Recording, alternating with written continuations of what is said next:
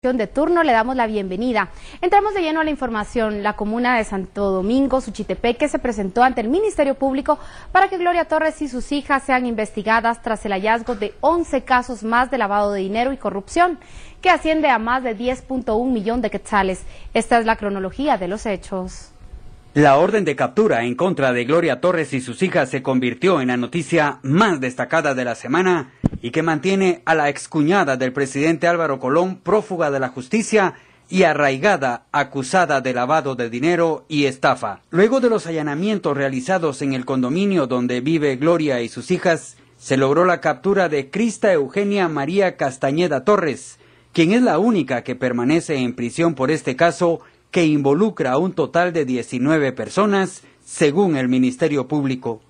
Durante el gobierno de la UNE, Gloria Torres no ocupó ningún cargo público, pero fue el enlace del presidente Colón con los alcaldes y ello le hizo tener un inmenso poder entre algunas comunas del interior del país, con quienes empezó a hacer negocios que hoy la tienen en la mira de las autoridades de justicia.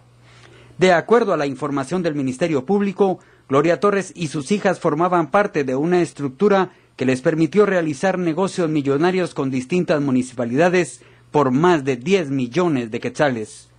Otro de los involucrados, según el Ministerio Público, es el yerno de Gloria Torres, Francisco Javier Urruela Noriega, esposo de María Marta Patricia, la otra hija que está prófuga, igual que su mamá. Para algunos observadores políticos, el próximo gobierno se quitó así una brasa de encima y en unas breves declaraciones de Gloria Torres a Emisoras Unidas, señaló como responsable de lo que llamó persecución a su hermana Sandra Torres y al presidente Álvaro Colón, quien rechazó estar atrás de la orden de captura de su excuñada.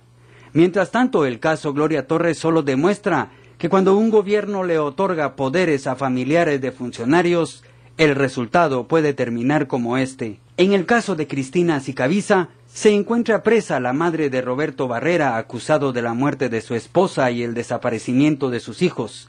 Y en el caso de Gloria Torres, es la hija la detenida mientras ella huye de la justicia.